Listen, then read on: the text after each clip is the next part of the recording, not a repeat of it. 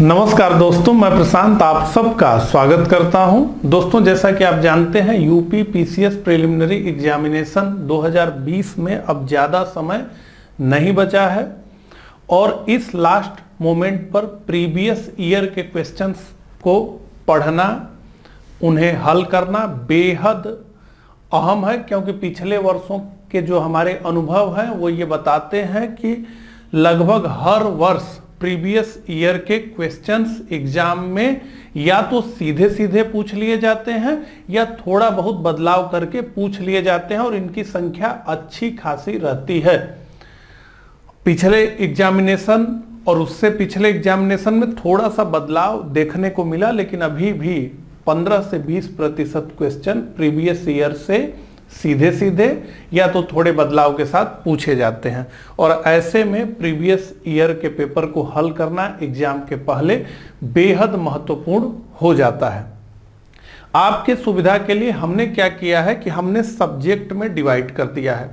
2012 से लेकर 2019 तक के आठ वर्षों के पेपर को हमने सब्जेक्ट में डिवाइड कर दिया है। तो अब इस लेक्चर में हम हिस्ट्री ऑफ़ मॉडर्न इंडिया को डिस्कस करेंगे। किसी और लेक्चर में हम मेडवल और एंशियंट हिस्ट्री को डिस्कस करेंगे। किसी और लेक्चर में हम पॉलिटी को डिस्कस करेंगे। तो इसमें हम ये देखेंगे कि केवल और केवल मॉडर्न हिस्ट्री के ही क्वेश्चंस रहेंगे। तो ये आपके सुविधा के लिए है कि एक ही वीडियो में आप मॉडर्न हिस्ट्री को देख लीजिए, फिर पॉलिटी को देख लीजिए, दूसरे वीडियो में। ताकि निरंतरता बनी रहे। ये हमने किया है और जो भी वर्ष शुरू होगा 2012 के क्वेश्चंस हैं तो वो भी हम बताएँगे कि देखिए 2012 के क्वेश्चंस इतने आए थे, फिर उसके बाद 13 में ये है 14 में, ऐसे करके सब्जेक्ट सॉरी ईयर वाइज जो है, हमने इसका डिस्ट्रीब्यूशन किया हुआ है, वो जो कि आप आगे देखेंगे। इस लेक्चर को शुरू करूँ, उससे पहले मैं आपको बताना चाहूँगा कि हमने एक बहुत ही detailed test series UP PCS prelims examination के लिए बनाई है और पिछली बार जो हमने टेस्ट सीरीज़ बनाया था, उससे काफ़ी ज़्यादा क्वेश्चन एग्ज़ाम में आया था। तो अभी तक अगर आपने बहुत कुछ नहीं पढ़ा है तो ये टेस्ट सीरीज़ आपके लिए इस लिहाज से भी फ़ायदेमंद होगी कि इसमें हमने बहुत लंबी लंबी व्याख्याएँ लिखी हैं।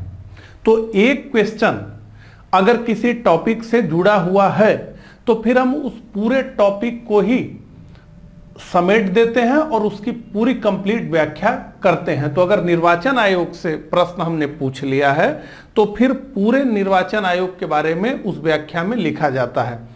इसी वीडियो के डिस्क्रिप्शन में आपको डेमो पीडीएफ का लिंक मिल जाएगा, वो आप जो है देख लेंगे। अगर आपकी बहुत अच्छी तैयारी हो चुकी है तो ऐसे में आपको टेस्ट ज़रूर ज्वाइन करना चाहिए, क्योंकि जो मुख्य एग्जामिनेशन है, उसमें हिस्सा लेने से पहले आपका डेमो हो जाना चाहिए, आपकी प्रैक्टिस हो जानी चाहिए, और हमारी टेस्ट सीरीज़ में बहुत अच्छे क्वेश्चन हमने रखे हैं तो आपकी प्रैक्टिस बहुत बेहतर होगी। इसके अलावा हम पीडीएफ भी डाउनलोड करने की सुविधा देते हैं, जिसमें कि काफ़ी विस्तार से उस प्रश्न की व्याख्या लिखी होती है, जिससे भी आपकी तैयारी होगी। तो जो लोग बहुत अच्छे से पढ़े हैं, उनके लिए भी टेस्ट ऑनलाइन वो अटेम्प्ट करें, जिससे उनकी अधिक से अधिक प्रैक्टिस हो, व्याख्या को पढ़ें। और जो लोग अभी बहुत अच्छे से प्रिपेयर नहीं है, उनके लिए इतने कम दिनों में बहुत हेल्पफुल जो है, इस टेस्ट सीरीज़ की व्याख्या होने वाली है। और टेस्ट लगा करके जब हम व्याख्या को पढ़ लेते हैं तो हमें बड़े लंबे समय तक चीज़ें याद रहती हैं। तो कुल इसमें 25 टेस्ट है, जिसमें से 10 फुल टेस्ट है, जैसा कि 150 क्वेश्चंस का। और इसके अलावा जो है, पाँच इसमें आपके करंट अफेयर्स का टेस्ट है। और साथ ही जो मुख्य सब्जेक्ट्स हैं, उनसे जो है दो दो टेस्ट सीरीज़ और जो थोड़े कम गंभीर सब्जेक्ट हैं, जिनसे कम क्वेश्चन पूछे जाते हैं, उनसे एक एक टेस्ट सीरीज़ रखी गई है। जैसे जियोग्राफी से दो टेस्ट सीरीज़ है पॉलिटी से दो टेस्ट सीरीज़ है मॉडर्न हिस्ट्री से एक है medieval ancient art and culture से एक है, इस तरीके से करके हमने किया है। तो इस टेस्ट को ज्वाइन करने के लिए आपको क्या करना होगा? आपको सिंपली ये करना होगा कि या तो आप अपने लैपटॉप पे www.decodexam.com को ओपन कर लीजिए। वहाँ पर ओपन करने के बाद साइन अप करने का ऑप्शन है, वो कर लीजिए। जब आप वेबसाइट के होम पेज पर पहुँच जाएँगे तो वहाँ आपको टेस्ट का एक आइकन दिखेगा, उस पर क्लिक करिए। वहाँ पर आप जब जाएँगे तो आपको पूरा इंटरफेस खुला हुआ मिलेगा। वहाँ पर यूपी पीसीएस प्रिलिमिनरी एग्जामिनेशन लिखा हुआ दिखेगा। उसके नीचे अटेम्प्ट टेस्ट का एक बटन होगा और उस अटेम्प्ट टेस्ट के नीचे एक ज्वाइन नाउ का बटन होगा। तो अटेम्प्ट टेस्ट में जब आप क्लिक करेंगे तो एक टेस्ट आप जो है डेमो के रूप में फ्री में दे सकते हैं। हमारी क्वालिटी को जज कर सकते हैं। वेबसाइट किस प्रकार से चल रही है, ये सारी चीज़ें जज कर सकते हैं और वहीं से उसकी पीडीएफ भी डाउनलोड कर सकते हैं। साथ ही इस वीडियो के डिस्क्रिप्शन में भी हम पीडीएफ दे देंगे। अगर आप मोबाइल से करना चाहते हैं तो आप हमारे मोबाइल ऐप को डिकोड एग्ज़ाम लिख करके डाउनलोड कर लीजिए साइन अप कर लीजिए। साइन अप करने के बाद जब आप ऐप के होम पेज पर जाएँगे तो वहाँ नीचे आपको बटन दिखेगा, टेस्ट का, उस पर क्लिक करेंगे तो फिर से जो है इंटरफेस ओपन हो जाएगा। वहाँ पर आपको यूपी पीसीएस टेस्ट सीरीज़ दिखेगी, एक अटेम्प्ट का और एक ज्वाइन नाउ का बटन भी दिखेगा। तो अटेम्प्ट टेस्ट पे जा करके एक टेस्ट आप फ्री में दे सकते हैं, पीडीएफ डाउनलोड कर सकते हैं। अगर आपको अच्छा लगता हो तो ज्वाइन नाउ जो बटन है उस पर क्लिक करके पेमेंट करके आप इस टेस्ट सीरीज़ से जुड़ सकते हैं। अगर इस पूरी प्रक्रिया में जो मैंने आपको बताया, कोई आपको दिक्कत हो तो nine five zero six seven four two five four six पे आप हमसे संपर्क कर सकते हैं दस से छः के बीच में व्हाट्सएप से, कॉल से। ठीक है? तो ये पूरी बात हो गई। अब हम जो है, शुरू करते हैं। तो ये 2012 का पहला क्वेश्चन हम देख रहे हैं। ठीक है? तो इसको हम किस प्रकार से बढ़ेंगे और आप किस प्रकार से बढ़ें, उसको इस प्रकार से आप समझें। कि आप एक एक प्रश्न को मेरे साथ पढ़ें और मैं आपको पाँच से दस सेकंड का समय भी देता चलूँगा ताकि आप जो है अपना उत्तर भी चैट में देते हुए चलें, ठीक है? और जो भी एग्जामिनेशन के लिए स्ट्रेटजी होगी कि किस प्रकार से ऐसे भी क्वेश्चंस जो हमें बहुत अच्छे से तो नहीं आते हैं, लेकिन उससे किस प्रकार से हम हल कर सकते हैं, वो भी मैं आपको सिखाते हुए चलूँगा।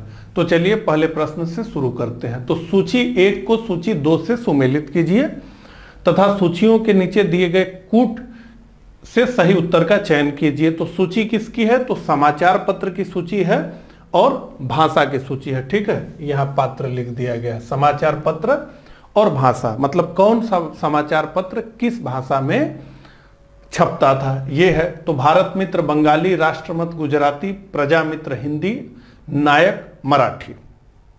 अब इसमें से हम देखें, प्रथम दृष्टया तो अगर बहुत अच्छी तैयारी नहीं है, या बहुत अच्छी तैयारी है भी तो भी ये प्रश्न देखने में मुश्किल लग रहा है।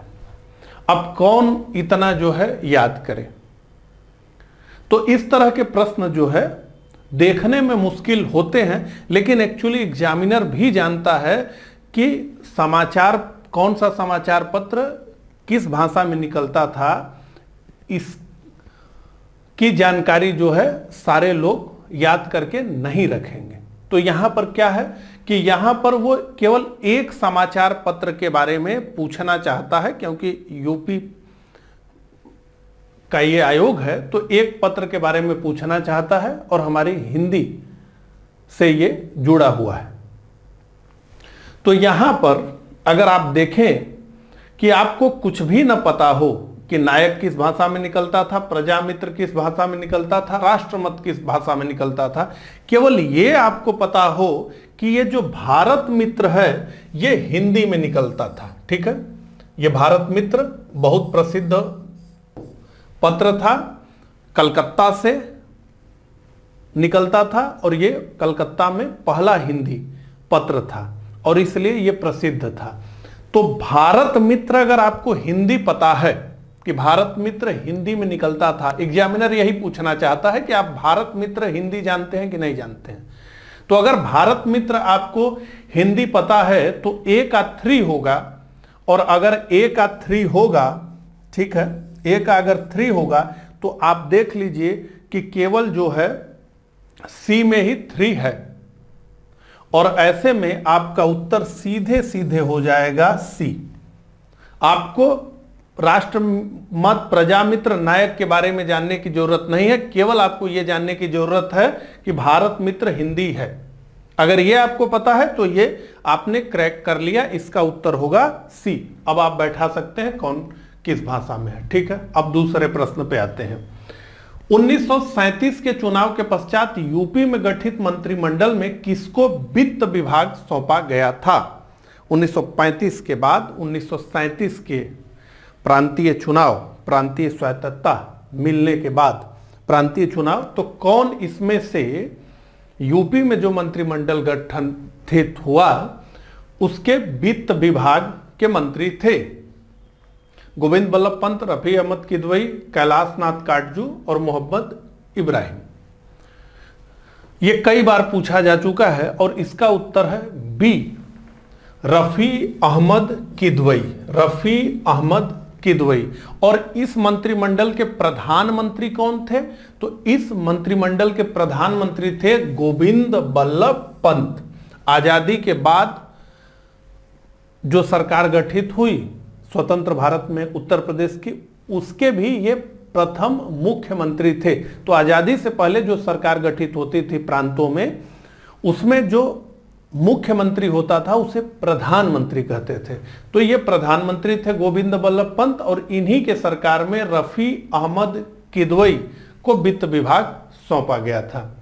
आगे बढ़ते हैं। निम्न में से किन आंदोलनों ने महिलाओं को घर की चार दीवारी से बाहर निकाला? स्वदेशी आंदोलन, होम रूल आंदोलन, असहयोग आंदोलन और सविनय अवज्ञा आंदोलन। इसका उत्तर जल्दी से दें। तो देखिए, स्वदेशी आंदोलन पहला भारत में हुआ, सबसे ज़बरदस्त आंदोलन था, जिसका स्वरूप काफ़ी व्यापक था और काफ़ी उग्र भी था। इसमें पहली बार महिलाओं ने भाग लिया, या यानी महिलाओं ने, महिलाएँ अपने घर से पहली बार निकली। तो ये स्वदेशी आंदोलन था। इसके बाद जैसा कि हम जानते हैं, होम रूल लीग जो आंदोलन चला, दो होम रूल लीग आंदोलन चले। एक तो तिलक जी के नेतृत्व में और दूसरा एनी बेसेंट के नेतृत्व में। तो होम रूल लीग आंदोलन में एक धड़े का तो नेतृत्व एक महिला ही कर रही थी एनी बेसेंट हालाँकि वो विदेशी थी, लेकिन थी वो भी महिला ही। तो इसमें भी और असहयोग आंदोलन में तो बहुत अधिक महिलाओं की भूमिका देखने को मिली। और अगर हम बात करें सविनय अवज्ञा आंदोलन की तो धर्सना के रेड में एक प्रख्यात महिला का नाम आता है। और कई बार धर्सना पे जो धावा बोला गया था, गोदाम पे नमक के, वो प्रश्न बनाया जाता है। तो अभी कमेंट करके बोलिए कि धर्सना में जो धावा बोला गया था, वो किन के द्वारा किया गया था? कमेंट करके बताइए। तो हमारा उत्तर क्या होगा? वन टू थ्री फोर यानी चारों। तो इसका मतलब है कि डी एक, दो, तीन एवं चार, यानी उपरोक्त सभी। उत्तर प्रदेश में अभी तक यह कहा जाता था कि जिस प्रश्न में उपरोक्त सभी हो, वो दस बार में आठ बार सही हो जाता है। यानी उपरोक्त सही दस क्वेश्चन में मार दीजिए, आठ आपका सही हो जाएगा। अब ये चीज़ें धीरे धीरे बदल रही हैं। अगला प्रश्न, वे राष्ट्रीय नेता कौन थे जो 1925 में सेंट्रल लेजिस्लेटिव असेंबली के अध्यक्ष निर्वाचित हुए? काफ़ी रिपीटेड प्रश्न है। लगभग हर तरह की परीक्षा में इस प्रश्न को पूछा जा चुका है और कई कई बार पूछा जा चुका है। तो वे राष्ट्रीय नेता कौन थे जो 1925 में सेंट्रल लेजिस्लेटिव असेंबली के अध्यक्ष निर्वाचित हुए थे? मोतीलाल नेहरू सी आर दास वल्लभ भाई पटेल, बिट्टल भाई पटेल। मैं पढ़ रहा हूँ, उतने में ही आप अपना उत्तर लिख दिया करिए। ठीक है? तो इसका उत्तर है डी बिट्ठल भाई पटेल वल्लभ भाई पटेल के बड़े भैया। बिट्ठल भाई पटेल। तो चौथे का हमारा उत्तर हो जाएगा डी। आगे बढ़ते हैं। सूची एक को सूची दो के साथ सुमिलित कीजिए तथा सूचियों के नीचे दिए गए कूट से सही उत्तर का चयन करिए। तो सूची एक है कांग्रेस के अध्यक्ष और सूची दो है अधिवेशन। तो पूछा यह जा रहा है कि कांग्रेस के किस अधिवेशन की किस व्यक्ति ने अध्यक्षता की। अब ये प्रश्न आप देखिए। डॉक्टर एम अंसारी, पुरुषोत्तम दास टंडन, सरोजनी नायडू, सुभाष चंद्र बोस, ठीक है? इसमें दो नाम काफ़ी ऐतिहासिक है या दो अधिवेशन काफ़ी महत्वपूर्ण हैं। इस नाते से यह प्रश्न पुटअप किया गया है। अब देखने पर तो यह लग रहा है कि हमें चारों के चारों जो ऑप्शन है, उनका ठीक ठीक उत्तर आएगा तो हम इसको हल कर पाएँगे। लेकिन ऐसा नहीं है। इसमें जो है यह पूछा जा रहा है कि भारतीय राष्ट्रीय आंदोलन के एक बहुत बड़े व्यक्तित्व सुभाष चंद्र बोस, नेताजी बोस, किस ने किस अधिवेशन की अध्यक्षता की थी कांग्रेस के? ये प्रश्न पूछा जा रहा है। और सारी चीज़ें तो अलग है। और दूसरा यह है कि प्रथम भारतीय महिला जो कांग्रेस की अध्यक्ष अध्यक्षा बनी, वो किस अधिवेशन में बनी? ये दोनों महत्वपूर्ण बातें हैं, ठीक है? तो यही पूछा जा रहा है। इन दोनों में से अगर किसी एक का भी उत्तर आपको पता है तो आप इस प्रश्न को क्रैक कर लेंगे। आइए देखा जाए। अगर हमें यह पता है कि सुभाष चंद्र बोस, नेताजी बोस पहली बार हरिपुरा में अध्यक्ष बने तो इसका मतलब है कि डी का वन तो डी हम देखें तो देखिए डी का वन केवल और केवल सी में है। तो हमने क्रैक कर लिया। हमें कुछ नहीं पता है एम अंसारी पुरुषोत्तम दास, टंडन, सरोजनी नायडू, किसी के बारे में हमें कुछ नहीं पता है।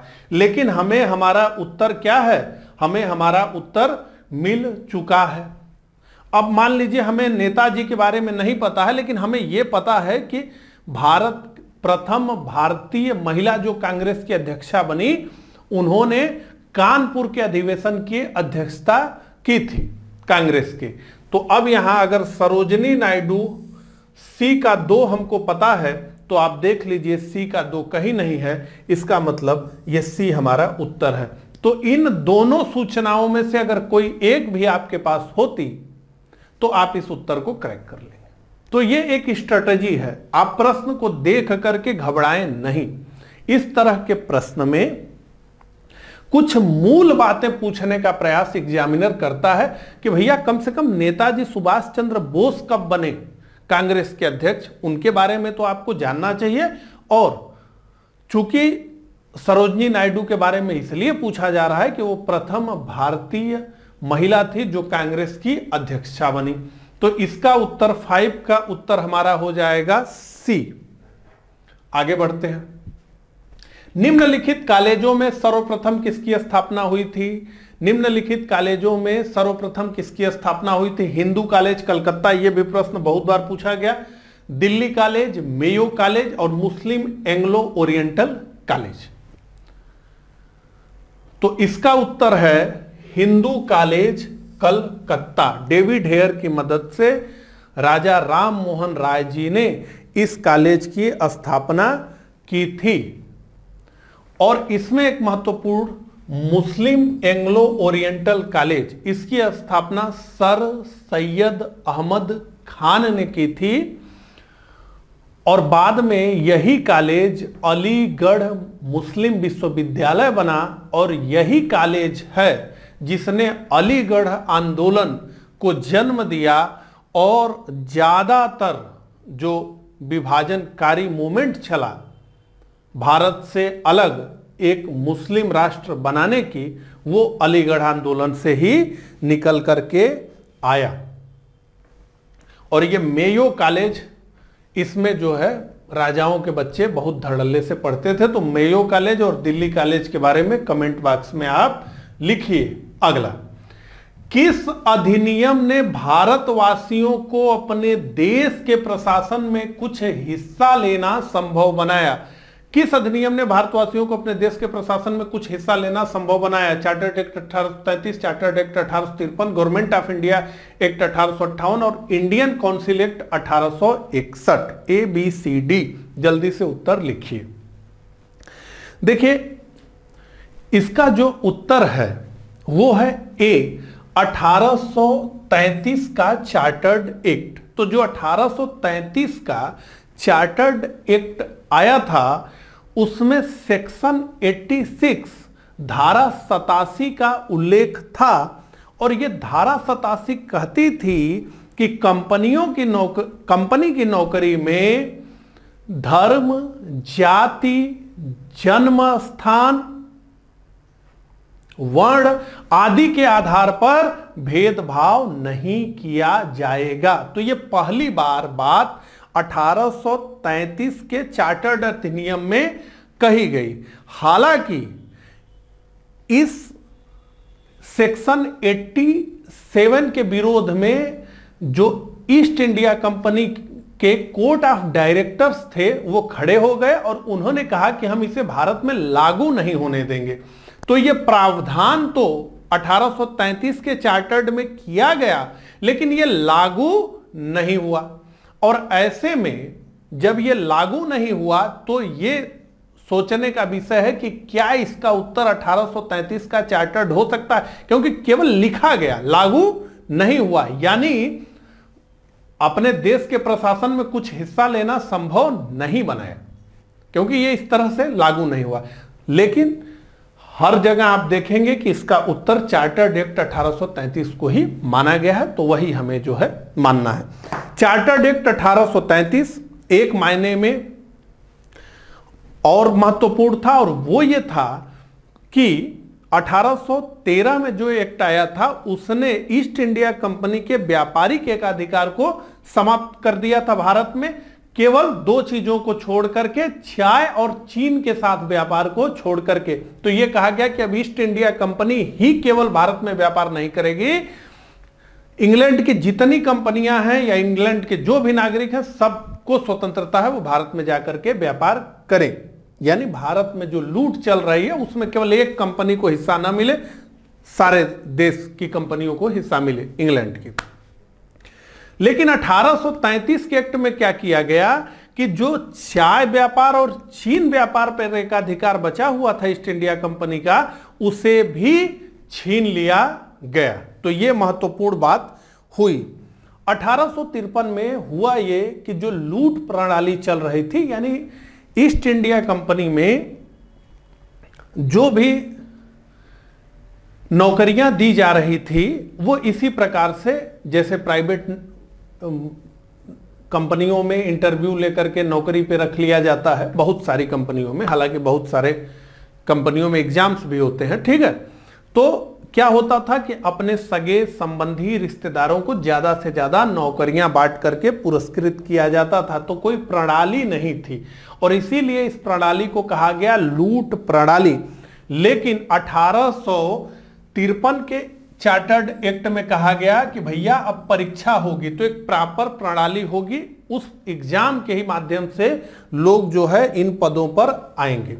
अठारह का गवर्नमेंट ऑफ़ इंडिया एक्ट इस नाते से बहुत महत्वपूर्ण था कि इसने भारत से ब्रिटिश राज को समाप्त कर दिया और भारत सीधे क्राउन के प्रत्यक्ष नियंत्रण में चला गया। तो ये और इंडियन काउंसिल एक्ट 1861 इसने गवर्नर जनरल की कार्यकारिणी परिषद का विस्तार किया। ठीक है? हम जब पढ़ते हैं भारत का संवैधानिक विकास तो उसमें बड़े डिटेल में इस पर बात करते हैं। बात निकल गई थी तो इतनी बात हो गई। आगे बढ़ते हैं।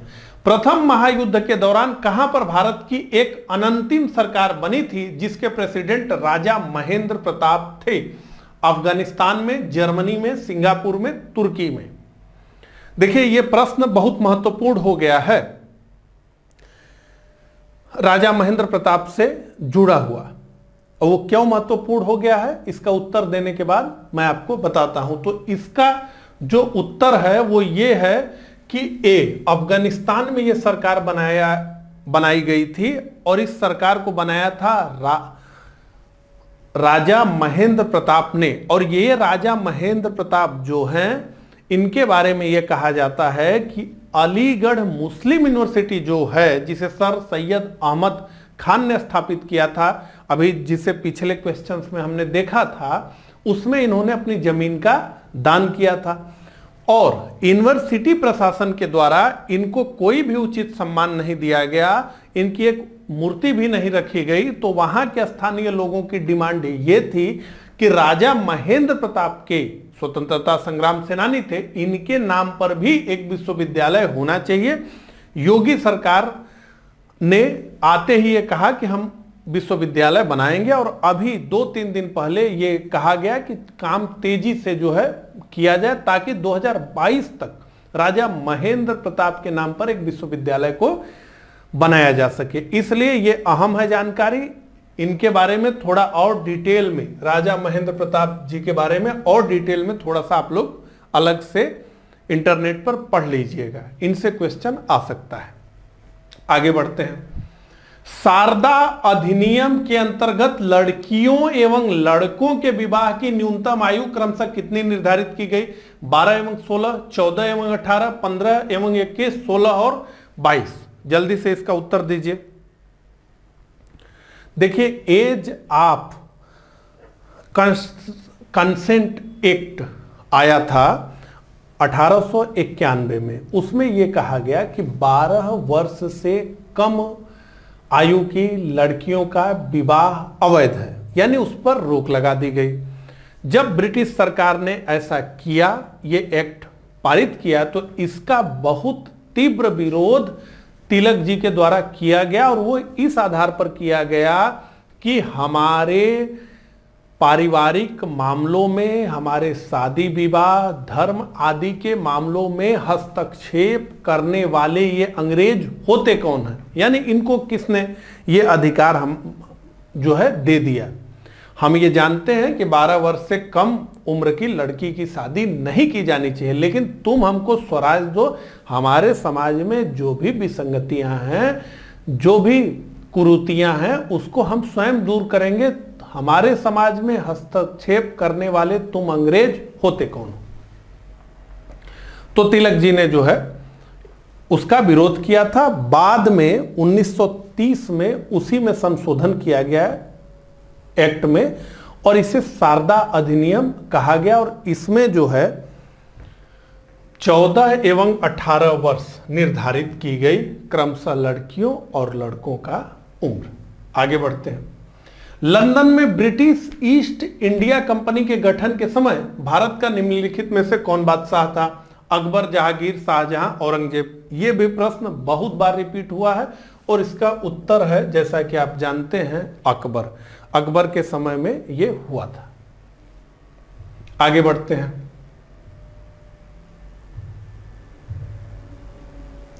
राम मोहन एक सेकेंड।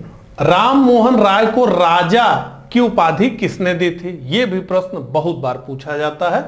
लॉर्ड विलियम बेंटिंग ने, अकबर द्वितीय ने, ब्रह्म समाज के अनुयायियों ने, सती प्रथा का विरोध करने वाले बुद्धिजीवियों ने ए बी सी डी इसका उत्तर जल्दी से बताएँ। तो इसका उत्तर है, अकबर द्वितीय ने राजा राम मोहन राम मोहन राय को राजा की उपाधि दी थी और अपनी पेंशन बढ़वाने के लिए इन्हें लंदन भेजा था। ब्रिटिश संप्रभु से, ब्रिटिश राजा से गुहार लगाने के लिए कि हमारी पेंशन के मामले को आप जाकर के राजा के सामने उठाइए। और वहीं उसी यात्रा में, ब्रिस्टल में इनकी मृत्यु भी हो गई। तो इन्हें राजा की उपाधि अकबर द्वितीय ने दी थी। अकबर द्वितीय, वही मुगल बादशाह कि जिसके शासनकाल में मुगलों का सिक्का चलना भी बंद हो गया लिटरली सिक्का। वो कहावत वाली सिक्का नहीं, उनकी की मुद्रा। आगे, औरंगज़ेब की मृत्यु के समय मराठा नेतृत्व तो किसके हाथों में था? शंभूजी राजाराम, जीजाबाई, ताराबाई। औरंगज़ेब की मृत्यु के समय मराठा नेतृत्व तो किसके हाथों में था? जल्दी से उत्तर दें A B C D Chhatrapati Shivaji Maharaj की मृत्यु के बाद उनके पुत्र संभाजी महाराज गद्दी पर बैठे। संभाजी महाराज की औरंगज़ेब द्वारा हत्या कर दी गई और इसके बाद उनके छोटे भाई राजा राम गद्दी पर बैठे। उनकी भी मृत्यु जल्दी ही हो गई और ऐसे में ताराबाई ने एक चार वर्षीय लड़के शिवाजी सेकंड को छत्रपति घोषित किया और उसकी संरक्षिका बनकर के ये शासन करने लगी। तो जब औरंगज़ेब की मृत्यु हुई, तब मराठा गद्दी पर ताराबाई बैठी थी, बहुत प्रोमिनेंट लीडर सतारा में। मराठों को इन्होंने बाँध करके रखा और युद्ध का संचालन भी ये करती थी तो केवल राजमहलों में पॉलिटिक्स ही नहीं करती थी, बल्कि जो है युद्ध के मैदान में तलवारबाजी भी करती थी ताराबाई। आगे तो ये हमने 2012 के पेपर को देख लिया, पीछे मुड़ करके देखें तो कुल 12 क्वेश्चन हमें देखने को मिले हैं। ध्यान रखिए, कितना इंपॉर्टेंट है मॉडर्न हिस्ट्री, इसका नमूना आपने देख लिया। 12 क्वेश्चन केवल मॉडर्न हिस्ट्री से अभी हिस्ट्री पूरी नहीं हुई। एंसियंट मेडवल और आर्ट एंड कल्चर, ये बचा हुआ है। हम केवल मॉडर्न देख रहे हैं और इसी में हमें 12 प्रश्न देखने को मिले। तो एग्ज़ाम के भी दृष्टिकोण से आपको यह बात समझ में आ गई होगी कि राष्ट्रीय आंदोलन और मॉडर्न हिस्ट्री बेहद महत्वपूर्ण है। अगर पूरे हिस्ट्री की बात करें हम तो 20 से लेकर 25 क्वेश्चन हर वर्ष हिस्ट्री से ही केवल आते हैं। आगे बढ़ते हैं। निम्नलिखित में से कौन जहांगीर के दरबार में ब्रिटिश शासक जेम्स प्रथम का राजदूत बना था? निम्नलिखित में से कौन जहांगीर के दरबार में ब्रिटिश शासक जेम्स प्रथम का राजदूत था? William Hawkins, William Finch, Pietro Della Valle और Edward Terry A B C D काफ़ी फ़ेमस नाम है। तो इसका उत्तर है A, William Hawkins William Hawkins. William Hawkins को अरबी, फारसी, तुर्की इन भाषाओं का अच्छा ज्ञान था, जहांगीर इससे प्रभावित भी हुआ और इसे 400 रुपए का मनसब भी दिया और इसे एक उपाधि दी फिरंगी खान की। हालाँकि ईस्ट इंडिया कंपनी को व्यापार करने का अधिकार उसने जो है नहीं दिया। ठीक है? तो आगे बढ़ते हैं। इसका उत्तर है विलियम हाकिंस। तो तेरह का उत्तर विलियम हाकिंस। अब आते हैं। निम्नलिखित में से कौन सा युग्म सही सुमेलित नहीं है? निम्न में से कौन सा युग्म सही सुमेलित नहीं है? पुनः जजिया लगाना मुस्ली पट्टम पर अधिकार सती प्रथा निषेध अधिनियम और लॉर्ड विलियम बैटिंग और दास्ताकांत मेलकम। तो अगर आपको दास्ता के अंत से आप पढ़ेंगे तो आपको पता चलेगा कि मेलकम नहीं था, ठीक है? तो अगर ये पता है आपको, इससे जुड़ा था एलन बरो। अगर ये आपको पता है तो आपने इस प्रश्न को क्रैक कर लिया। एग्जामिनर भी केवल आपसे यही पूछना चाहता है, ठीक है? निश्चित रूप से ये सब जो है थोड़े मुश्किल हमें लग रहे हैं, ठीक है? तो दास्ता का अंत एलन बरो, ठीक है? आगे बढ़ते हैं। निम्नलिखित में से किस आंदोलन के साथ अरुणा आसफ अली जुड़ी हैं? बहुत बार पूछा गया प्रश्न, बहुत बार पूछा गया। अरुणा आसफ अली अमर हो गई। असहयोग आंदोलन सविनय अवज्ञा आंदोलन, व्यक्तित्व सत्याग्रह, भारत छोड़ो आंदोलन ए बी सी डी इसका उत्तर सीधा सीधा है, भारत छोड़ो आंदोलन, यानी डी तो अरोड़ा आसफ अली भारत छोड़ो आंदोलन से जुड़ी हुई थी। आगे बढ़ते हैं। सूची एक को सूची दो से सुमेलित कीजिए तथा सूचियों के नीचे दिए गए कूट से सही उत्तर चुनिए। सूची एक, लेखक और सूची दो। किताब का नाम। Lady Catherine Mayo, Larry Collins, Dominique Lapierre, Ram Manohar Lohia, Jawaharlal Nehru. अब इसका उत्तर जो है आप कमेंट में दीजिए। अब अगर हम ये देखें तो हमें काफ़ी मुश्किल लग रहा है। ये प्रश्न देख करके ही हमें काफ़ी मुश्किल लग रहा है। अब इतना कौन याद करे? लेकिन अगर इसमें हम ये देखें कि डिस्कवरी ऑफ़ इंडिया तो हम सभी को याद है। कि डिस्कवरी ऑफ़ इंडिया तो जवाहरलाल नेहरू ने लिखा था दूरदर्शन पर। डिस्कवरी ऑफ़ इंडिया नामक एक प्रोग्राम भी आता था। अभी यूट्यूब पर भी बहुत सारे वीडियो पड़े हुए हैं। तो अगर हमें यह पता है कि डी का थ्री होगा, ये हमें पता है कि डी का तो थ्री होगा। डिस्कवरी ऑफ़ इंडिया तो जवाहरलाल नेहरू ने लिखा ही है। तो अगर हम डी का थ्री देखें तो हमें दो जगह दिखता है, एक तो ए में और एक सी में। तो इसका मतलब है कि बी हमारा उत्तर नहीं होने वाला है। हमें प्रश्न का एक चीज़ ध्यान रखिए, हमें प्रश्न का उत्तर नहीं पता है।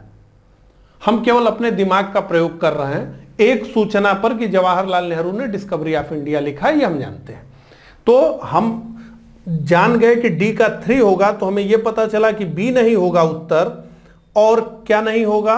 डी नहीं उत्तर होगा। तो उत्तर या तो ए होगा या सी होगा। तो हमने दिमाग लगा करके चार ऑप्शन को दो में बदल दिया। तो चार से भले दो। इस तरह के एग्जामिनेशन में चार से भले दो। तो जब चार से हमने दो कर दिया है तो या तो ए उत्तर होना चाहिए और या तो सी उत्तर होना चाहिए। हालाँकि ये थोड़ा मुश्किल है क्वेश्चन लेकिन फिर भी अगर लेडी, कैथरीन मेयो ने मदर इंडिया लिखा है, अगर ये दूसरी सूचना भी हमारे पास आ जाए, यानी ए का टू तो हमें ये पता चल जाएगा कि हमारा उत्तर ए सही है। हालाँकि ये प्रश्न थोड़ा सा मुश्किल ज़रूर था और केवल एक सूचना ये नहीं चाहता था। ये इन तीनों लोगों में से किसी एक की, एक ना एक की सूचना भी चाहता था। तो 16 का हमारा उत्तर हो जाएगा ए ठीक है? तो इसको एक बार मिला लिया जाए तो ए का टू मदर इंडिया बी का one freedom at night C का four guilty man of India partition और डी का three Jawaharlal Nehru discovery of India आगे। मुस्लिम लीग के लाहौर अधिवेशन 1940 की अध्यक्षता किसने की थी? मुस्लिम लीग के लाहौर अधिवेशन 1940 की अध्यक्षता किसने की थी? ए बी सी डी तो इसका उत्तर है मोहम्मद अली जिन्ना ने इसकी अध्यक्षता की थी और यहीं पर पाकिस्तान प्रस्ताव को पारित किया गया। हालाँकि उस समय तक पाकिस्तान इस शब्द का प्रयोग नहीं किया गया था, लेकिन एक भारत से पृथक एक मुस्लिम राष्ट्र की मांग यहाँ पर की गई थी। तो इसका उत्तर है सी मोहम्मद अली जिन्ना। अगला। 1942 में कांग्रेस के बंबई अधिवेशन में किसके द्वारा भारत छोड़ो प्रस्ताव प्रस्तावित किया गया था? Jawaharlal Nehru, Narendra Dev, Rajendra Prasad J B Kripalani A B C D तो इसका उत्तर है जवाहरलाल नेहरू। तो 18 का उत्तर हो जाएगा हमारा ए जवाहरलाल नेहरू। आगे। चंपारण में तीन कठिया प्रथा का तात्पर्य था। चंपारण में तीन कठिया प्रथा का तात्पर्य था। तीन कठिया। शब्द से थोड़ा सा समझने का प्रयास करिए। तो क्या तात्पर्य था? तो इसका तात्पर्य था कि तीन बटा बीस भूभाग पर नील की खेती करना है यह अनिवार्य था। और इसी से नीलहे परेशान रह रहे थे। तो 19 का हमारा उत्तर होगा ए। आगे बढ़ते हैं 20 निम्नलिखित में से भारतीय राष्ट्रीय कांग्रेस के किस अधिवेशन में महात्मा गांधी ने कहा था? कहा था, गांधी मर सकते हैं, परंतु गांधीवाद हमेशा बना रहेगा। गांधी मर सकते हैं, किंतु गांधीवाद हमेशा बना रहेगा। कलकत्ता अधिवेशन 1928 लाहौर अधिवेशन उन्नीस मद्रास अधिवेशन उन्नीस सौ सत्ताईस और कराची अधिवेशन 1931 जल्दी से इसका उत्तर बताएँ। तो इसका उत्तर है कराची अधिवेशन 1931 में ये बात महात्मा गांधी जी ने कही थी। और वो गांधी इरविन समझौते के बाद ये हुआ था तो उसके बाद इसमें इन्होंने कहा था। अगला, डेक्कन एजुकेशनल सोसाइटी की स्थापना से कौन संबंधित था? Justice Ranade, Firoz Shah Mehta, B G Tilak, Dayanand Saraswati. A B C D तो इसका उत्तर है B G Tilak, Bal Gangadhar Tilak, Deccan educational society से जुड़े हुए थे। ठीक है? आगे बढ़ते हैं। किसने कहा था? तिलक भारतीय अशांति के जनक हैं। किसने कहा था? तिलक भारतीय अशांति के जनक हैं। A B C D V. Chirol, Louis Fischer, Webb Miller, Lord Reading. ये प्रश्न बहुत बार पूछा गया है और इसका उत्तर है वी छिरोल या इसको पढ़ा जाता है बी सिरोल।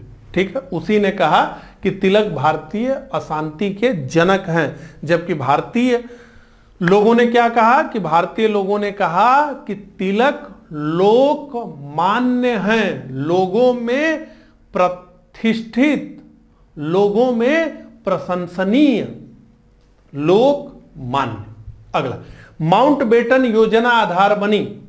मन बाटन योजना भी इसको कहते थे। माउंट बेटन योजना आधार बनी। ब्रिटिश भारत, ब्रिटिश शासन की निरंतरता की, सत्ता के हस्तांतरण की, देश के विभाजन की, सांप्रदायिक समस्याओं के समाधान की।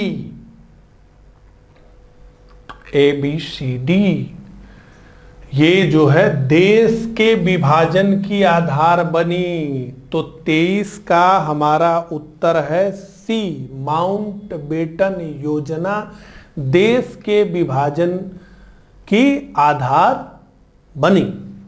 आगे बढ़ते हैं। 24 1937 में प्रांतों में मंत्रिमंडल के निर्माण के उपरांत कांग्रेस का शासन कितने महीने चला था?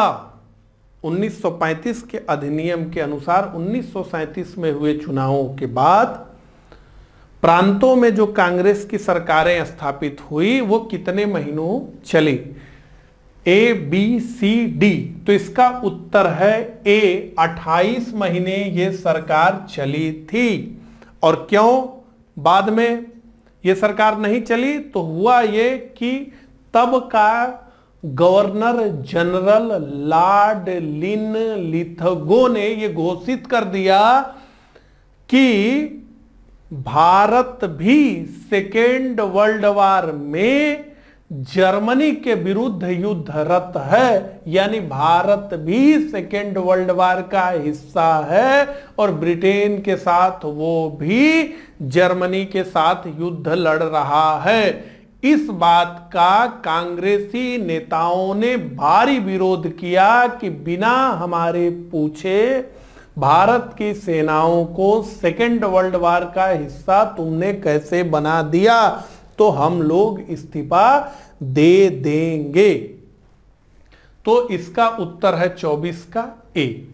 आगे बढ़ते हैं। पच्चीस, निम्नलिखित में से किसने सर्वप्रथम भारत के लिए औपनिवेशिक स्वराज की मांग की थी? राजगोपालाचारी और सरदार पटेल ने, पंडित मोतीलाल नेहरू और गोविंद वल्लभ पंत ने सर तेज बहादुर सप्रू और जयकर ने और जवाहरलाल नेहरू और जगजीवन राम ने A B C D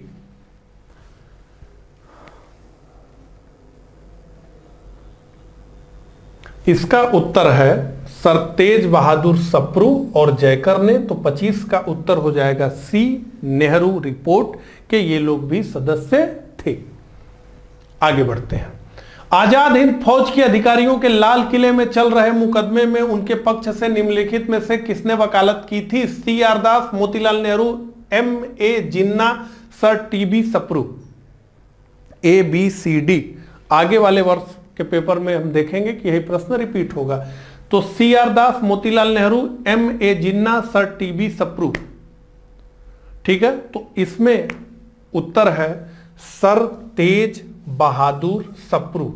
sir, Tej Bahadur Sapru. तो 26 का हो जाएगा डी, बहुत फ़ेमस मुकदमा था। आगे अभी प्रश्न आएगा तो उसमें हम इस पर डिटेल से बात करेंगे। इसमें बहुत सारे वकील थे, भुल्ला भाई देसाई थे, जवाहरलाल नेहरू। तो बहुत वर्षों के बाद उन्होंने जो है कोट पहना हुआ था। भुल्ला भाई देसाई इसकी अध्यक्षता कर रहे थे, सर टीवी सप्रू वगैरह सारे लोग जो है कर रहे थे। तो ये जो 26 है, इसका उत्तर होगा डी। ठीक है? आगे बढ़ते हैं। सताइस जालियांवाला बाग हत्याकांड के विरोध में निम्नलिखित में से किसने वायसराय के कार्य परिषद से त्याग पत्र दे दिया था? बहुत बार बहुत बार बहुत बार पूछा गया प्रश्न है। रविन्द्रनाथ टैगोर, मदन मोहन मालवीय सर शंकर नायर और उपयुक्त तीनों। तो इसका उत्तर है सर शंकर नायर। इन्होंने इस्तीफा दे दिया था। तो 27 का हमारा हो जाएगा उत्तर सी। तो 2013 का जो पूरा पेपर था, वो हमने समाप्त कर लिया है। तो 2012 का पेपर हमने समाप्त कर लिया और तेरह का भी पेपर हमने समाप्त कर लिया। तो अब 2014 से शुरू करते हैं। बंगाल के विभाजन के समय बंगाल का लेफ्टिनेंट गवर्नर कौन था? Sir Andrews Fraser, H N Risley Brodrick A T Arundel A B C D Bengal के विभाजन के समय बंगाल का लेफ्टिनेंट गवर्नर था। तो इसका उत्तर है सर एंड्रूज फ्रेजर। बंगाल का लेफ्टिनेंट गवर्नर था, जबकि बंगाल का विभाजन हुआ। तो 28 का उत्तर हो जाएगा ए और इस समय भारत का गवर्नर जनरल कौन था? Lord Curzon. आगे बढ़ते हैं 29 ब्रिटिश पत्रकार एच डब्ल्यू नेविंसन जुड़े थे असहयोग आंदोलन से, सविनय अवज्ञा आंदोलन से, स्वदेशी आंदोलन से और भारत छोड़ो आंदोलन से, ए, बी, सी, डी। तो इसका उत्तर है सी, स्वदेशी आंदोलन से। आगे बढ़ते हैं, तीस। भारतीय राष्ट्रीय कांग्रेस का अंतिम अधिवेशन जिसमें बाल गंगाधर तिलक ने भाग लिया था। तो अब देखिए ऑप्शन देखेंगे अगर आप तो आसान ऑप्शन दिया गया है। अगर आपने कलकत्ता अधिवेशन के बारे में ठीक से पढ़ा हो तो आपको ये पता होगा कि कलकत्ता के अधिवेशन में चार महत्वपूर्ण प्रस्ताव जो है गर्मपंथियों ने पास कराए थे, तिलक के नेतृत्व में। क्या क्या था वो? तो पहला तो स्वराज, दूसरा देसी शिक्षा, तीसरा स्वदेशी, चौथा बहिष्कार। ठीक है? तो तिलक थे। सूरत अधिवेशन 1907 जिसमें कांग्रेस का विभाजन हुआ, उसमें जब जूता चप्पल चला तो उस समय तिलक जी ही भाषण कर रहे थे। और ये 1905 से ही लड़ाई चल रही थी गर्मपंथियों की, कि कांग्रेस के अध्यक्ष का पद गर्मपंथियों के पास होना चाहिए। 1906 में दादा भाई नौरोजी को उन्होंने आगे कर दिया, दोनों पक्ष उनका सम्मान करता था, गर्मपंथी भी, नरमपंथी भी तो मान लिया गया। लेकिन 1907 में तो पूरी लड़ाई हो गई और कांग्रेस का क्या हो गया? विभाजन हो गया। तो ये दोनों तो नहीं होगा। अब कलकत्ता अधिवेशन 1917 और अमृतसर अधिवेशन 1919 ये दोनों जो है, आसपास के क्रम है। लेकिन जब हम असहयोग आंदोलन पढ़ते हैं तो हमें पता चलता है कि असहयोग आंदोलन शुरू होने से पहले ही तिलक जी की मृत्यु हो गई थी। यानी अगस्त 1920 में। तो इसका मतलब है कि ये अमृतसर का अधिवेशन 1919 होना चाहिए। ये मैं केवल और केवल आपको बता रहा हूँ कि हम दिमाग लगा करके किस प्रकार से उत्तर तक जो है पहुँच सकते हैं। ठीक है? तो ये होगा अमृतसर अधिवेशन 1919 डी, आगे बढ़ते हैं। महात्मा गांधी ने अपनी निम्न पुस्तकों में से किसमें ब्रिटिश पार्लियामेंट को बांझ और बेस्या कहा है? सर्वोदय अथवा universal dawn, an autobiography of the story of my experiment with truth, यानी सत्य के प्रयोग अथवा गांधी जी की आत्मकथा। दुनिया में सत्य आत्मकथाओं में इस किताब का नाम सर्वोच्च पर है। और आश्चर्य होता है इसे पढ़ने के बाद कि कोई व्यक्ति जब भारतीय राष्ट्रीय आंदोलन में अपने चरम बिंदु पर हो, उस समय वो अपनी आत्मकथा में किस किस तरह की बातें लिख सकता है, कि अपने नौकर के जेब से बचपन में बीड़ी चुरा करके पीना, आत्महत्या करने का विचार, उसके लिए धतूरा खा लेना, तमाम तरह की बातें जो जो था। तो इसे बड़ी सच्ची आत्मकथा माना जाता है, ठीक है? और हिंद स्वराज और दी स्टोरी ऑफ़ ए सत्याग्रह। तो हिंद स्वराज, जो कि प्रश्नोत्तरी की भाषा में और गुजराती में लिखी गई है, उसमें जो है, इन्होंने ब्रिटिश पार्लियामेंट को बांझ और बेस्या कहा है। तो 31 का हमारा उत्तर होगा सी, अगला। जलियावाला बाग नगर संघार पर कांग्रेस जाँच समिति की रिपोर्ट के प्रारूप लिखने का कार्य सौंपा गया था। जवाहरलाल नेहरू को, महात्मा गांधी को, सी आर दास को, फज लूल हक को, ए, बी, सी, डी। तो इसका उत्तर होगा, महात्मा गांधी को यह ज़िम्मेदारी दी गई थी और मदन मोहन मालवीय इसके अध्यक्ष बनाए थे, जो कांग्रेस की तरफ़ से जाँच समिति बनाई गई थी। उसके और इसका प्रारूप लिखा था, महात्मा गांधी ने, अब आपसे प्रश्न, मैं ये पूछता हूँ कि सरकार ने इस हत्याकांड की जाँच के लिए कौन सी कमेटी बनाई थी? ठीक है? बत्तीस का भी, आगे। महात्मा गांधी के साथ निम्न मुसलमानों में से किसने बाल गंगाधर तिलक की अर्थी उठाई? Shaukat Ali, Mohammad Ali, Maulana A Azad, M A Ansari, A, B, C, D. क्या उत्तर होगा इसका? तो इसका उत्तर होगा शौकत अली। तो ये शौकत अली और मोहम्मद अली, इन्हीं दोनों ने भारत में खिलाफत आंदोलन की शुरुआत की थी और असहयोग आंदोलन के साथ मिलकर के खिलाफत आंदोलन की शुरुआत जो है भारत में की गई थी। खिलाफत और असहयोग बाद में एकजुट होकर एक मंच पर गांधी जी के नेतृत्व में आया था। तो 33 का हमारा उत्तर है ए, शौकत अली। अगला। इंडियन ओपिनियन पत्रिका के प्रथम संपादक थे M K Gandhi Albert West Mahadev Desai और मनसुख लाल नज़र। तो कौन थे ए बी सी डी तो इसका उत्तर है मनसुख लाल नज़र। ये जो है इंडियन ओपिनियन पत्र, पत्रिका के प्रथम संपादक थे और ये पत्रिका जो है निकलती थी दक्षिण अफ्रीका से, जो है महात्मा गांधी के द्वारा। अगला। दादा भाई नौरोजी के विषय में निम्नलिखित में से कौन सा एक कथन असत्य है? अब देख लीजिए। प्रश्न के ऑप्शन हम पढ़ेंगे तो बड़े कठिन लगेगा। देखिए, वो पहले भारतीय थे जो एल्फिस्टन कॉलेज बंबई में गणित एवं भौतिकी के प्रोफेसर नियुक्त हुए थे। इतना डिटेल में तो लिखता ही नहीं, जो इन किताबों से हम लोग पढ़ते हैं उसमें। दूसरा, अठारह सौ बानवे में उन्हें ब्रिटिश पार्लियामेंट का एक सदस्य निर्वाचित किया गया था। तीसरा, उन्होंने गुजराती पत्रिका राष्ट्र गुप्तार का आरंभ किया था।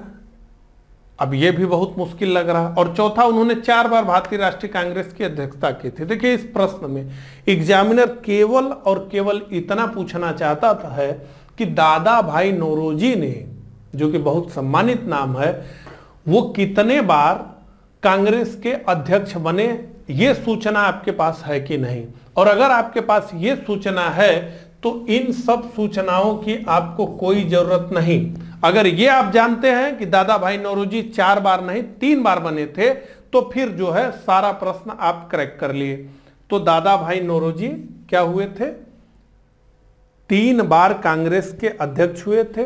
पहला तो दूसरे ही अधिवेशन में, छियासी में, दूसरा तिरानवे में, और तीसरा 1906 में जब गर्मपंथी और नरमपंथी अपने अपने अध्यक्ष बनाने के लिए काफ़ी प्रोत्साहन प्रयास करने लगे और ऐसे में जब नरमपंथियों को यह लगा कि गर्मपंथी अपना अध्यक्ष बना लेंगे कांग्रेस का तो उन्होंने धीरे से दादा भाई नौरोजी का नाम जो है आगे कर दिया। उस समय दादा भाई नौरोजी वृद्ध हो चुके थे, कांग्रेस की अध्यक्षता उनको नहीं सौंपी जा सकती थी, लेकिन नरमपंथियों ने इसलिए दादा भाई नौरोजी को अध्यक्ष बनाया क्योंकि उनका सम्मान सब लोग कर रहे थे और उनके नाम पर गर्मपंथी विरोध नहीं कर सकते थे।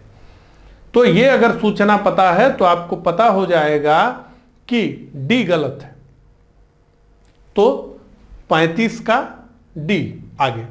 बीजी तिलक के सजा के पश्चात निम्नलिखित में से किसने दया की वकालत की थी और कहा था, संस्कृत के एक विद्वान के रूप में तिलक में मेरी दिलचस्पी है। संस्कृत के बड़े विद्वान थे, बाल गंगाधर तिलक। किसने कहा? तो रविन्द्रनाथ टैगोर, मैक्स मूलर, बिपिन चंद पाल और विलियम जोन्स। तो ये बात कहा था मैक्स मूलर। ये भी जो है, बहुत विद्वान था मैक्स मूलर और बहुत कबाड़ा जो है हमारे धर्म ग्रंथों का इसने कर दिया है। 36 का हमारा उत्तर होगा बी, मैक्स मूलर। अगला। कांग्रेस के मंच से भारतीय राष्ट्रीय कांग्रेस के किस अधिवेशन में प्रथम बार स्वराज्य शब्द व्यक्त किया गया था? बनारस अधिवेशन पाँच, कलकत्ता अधिवेशन छह, सूरत अधिवेशन पाँच और उपयुक्त में से कोई नहीं। तो ज़ाहिर सी बात है दादा भाई नोरोजी स्वराज, राष्ट्रीय शिक्षा, स्वदेशी बहिष्कार। ये चार प्रस्ताव पारित हुए थे तो हमारा उत्तर हो जाएगा सैतीस का बी 37 का हमारा उत्तर होगा बी। आगे बढ़ते हैं। भारतीय राष्ट्रीय आंदोलन से संबंधित निम्नलिखित घटनाओं पर विचार कीजिए और नीचे दिए गए कूट से सही कालानुक्रम का पता लगाइए। बीजी तिलक का निधन, एक अधिनियम के रूप में रोलेट विधेयक का पास होना, जलियांवाला बाग नरसंहार और भारतीय राष्ट्रीय कांग्रेस का अमृतसर अधिवेशन 1919 तो ये प्रश्न जो है, पूछा जा रहा है कि पहले कौन घटना हुई? तो देखिए, सबसे पहले इनमें तो रोलेक्ट एक्ट आया। रोलेक्ट एक्ट के बाद जलियांवाला नरसंहार हुआ, तीन। उसके बाद भारतीय राष्ट्रीय कांग्रेस का अमृतसर अधिवेशन हुआ, जिसमें बीजी तिलक ने भाग लिया, चार। और उसके बाद एक, बीजी तिलक का निधन हो गया असहयोग आंदोलन से पहले। ठीक है? तो हमारा उत्तर हो जाएगा अड़तीस का, हमारा उत्तर होगा ए, ठीक है? निम्नलिखित में से कौन सा युग्म सही सुमेलित नहीं है? SC Bose, Indian struggle, Dadabhai Naoroji poverty and un British rule in India, Rajendra Prasad, India divided, Frank Moraes, India from Curzon to Nehru and after. ये प्रश्न मुश्किल है। निश्चित रूप से मुश्किल है। इतना डीप में कहा कोई पढ़ता है? और कहाँ से चीज़ें याद रहेंगी। इसमें अगर जो है, poverty and un British rule हो तो वही समझ में आ रहा है कि अपने को जो है, चीज़ें पता हैं, ठीक है? और एस सी बोस का इंडियन स्ट्रगल, जिस पर काफ़ी जो है रोक लगी हुई थी, बाद में जो है विदेश से ये छपा। तो इसका उत्तर सीधे सीधे मैं बता देता हूँ। ये India from Curzon to Nehru and after, इसे दुर्गा दास ने लिखा, फ्रैंक मोरिस ने नहीं लिखा और ऐसे में उनतालीस का जो उत्तर है वो है डी। ठीक है, आगे बढ़ते हैं। सूची एक को सूची दो के साथ सुमेलित कीजिए तथा सूचियों के नीचे दिए गए कूट का प्रयोग कर सही उत्तर चुनिए। सूची एक, सूची दो। सूची एक में है नाम और सूची दो में है आंदोलन। ठीक है? तो बिनोवा भावे होम रूल आंदोलन, बीजी तिलक, व्यक्तिगत सत्याग्रह, अरुणा असफ अली और सरोजनी नायडू भारत छोड़ो आंदोलन। तो सबसे आसान से करके देखते हैं कि हमको उत्तर मिलता है क्या। सबसे आसान क्या है कि बीजी तिलक, हम जानते हैं होम रूल आंदोलन से, ठीक है? तो अगर बी का होम रूल लीग आंदोलन है, ठीक है? तो ये वन, टू, थ्री, फोर, ठीक है? तो अगर बी का वन है तो क्या हमें उत्तर मिल रहा है?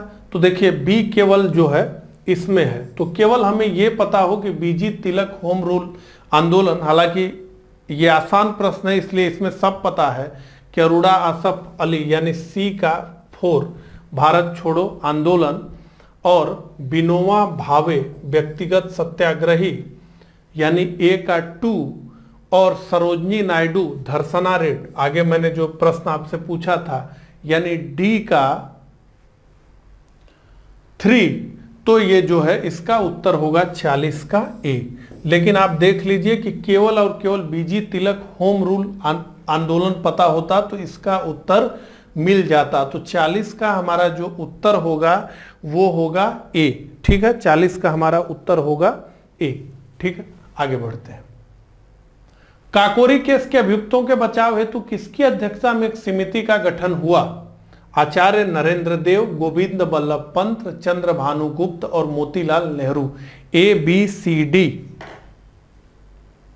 तो इकतालीस का उत्तर है बी गोविंद बल्लभ पंत, जो कि उत्तर प्रदेश के पहले मुख्यमंत्री थे। काकोरी केस के अभियुक्तों के बचाव हेतु गोविंद बल्लभ पंत के नेतृत्व में यह बना अगला।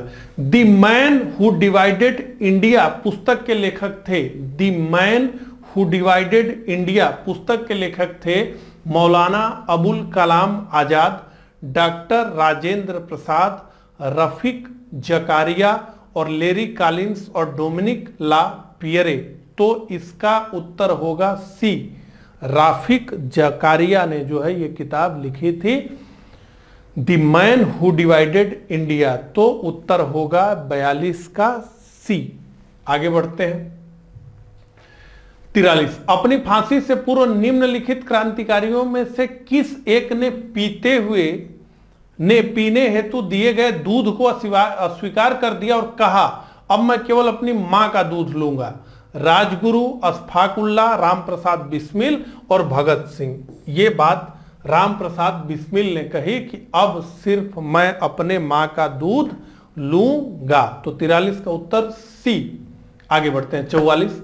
निम्नलिखित में से किसने गांधी इरविन समझौते में महात्मा गांधी के लाभ को सांत्वना पुरस्कार कहा था।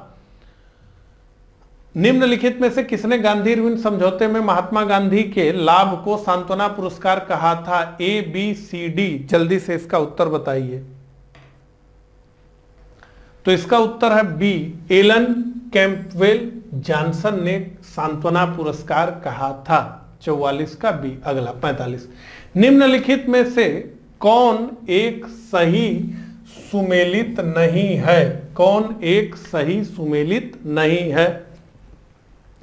तो इसमें हम लोगों को कौन सा आ रहा है?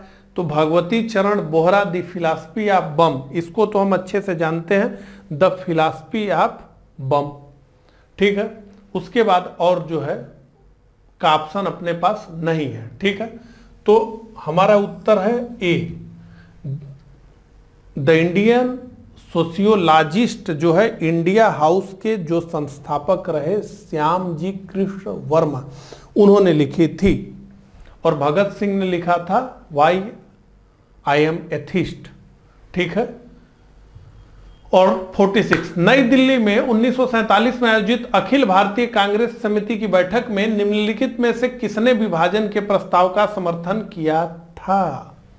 गोविंद वल्लभ पंत, सरदार वल्लभ भाई पटेल जे बी कृपलानी, अबुल कलाम आज़ाद। तो इसका उत्तर बताइए, बड़ा महत्वपूर्ण प्रश्न है।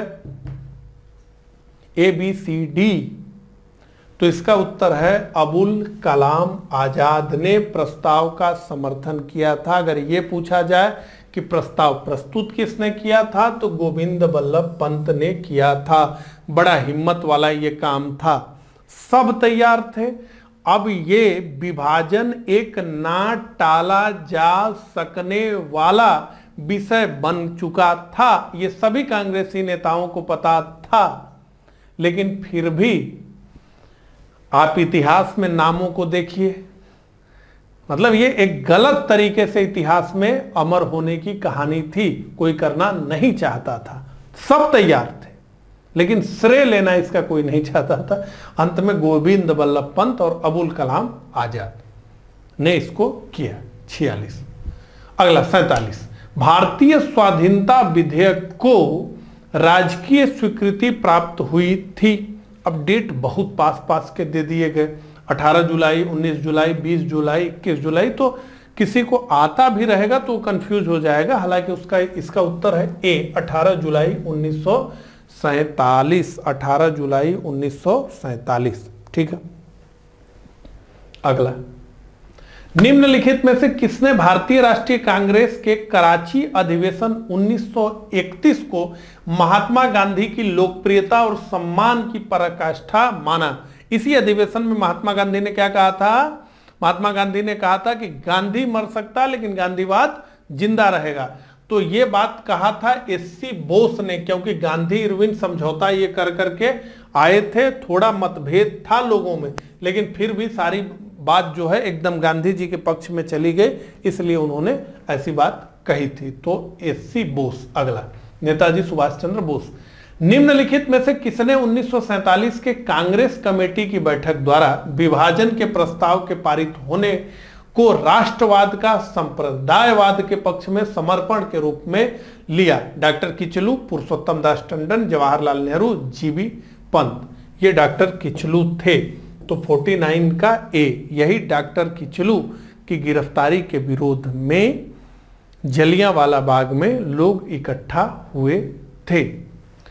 तो ये हमारा 2014 का भी पेपर समाप्त हुआ।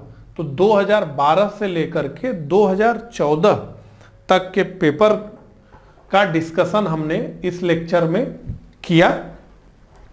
अगले लेक्चर में हम 2000 2015 से लेकर के 2019 तक के प्रश्नों को देखेंगे तो मॉडर्न हिस्ट्री को हम दो लेक्चर में कंप्लीट करेंगे। तो कमेंट करके हमें ये बताइएगा कि मैं जिस प्रकार से चीज़ों को समझा रहा हूँ, जिस प्रकार से हम आगे बढ़ रहे हैं, ये तरीका क्या आपको ठीक लग रहा है या कोई और इसमें बदलाव किया जाना चाहिए? तो ये हमें ज़रूर बताइएगा। तो इस लेक्चर में बस इतना ही। मिलता हूँ इसी तरह के अगले लेक्चर में। तब तक के लिए आप सभी को नमस्कार।